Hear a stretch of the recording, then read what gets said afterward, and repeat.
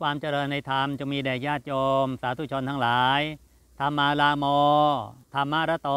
ธรรมัง อนุวิจินตยังธรรมัง อนุสลางพิโคสัทธมานะปริหายติ แปลว่า ภิกษุผู้อยู่ในธรรม ยินดีในธรรม พินิจพิจารณาธรรม และลำเลิกถึงธรรมเสมอ ย่อมไม่เสื่อมจากพระสัทธรรมเจริญพร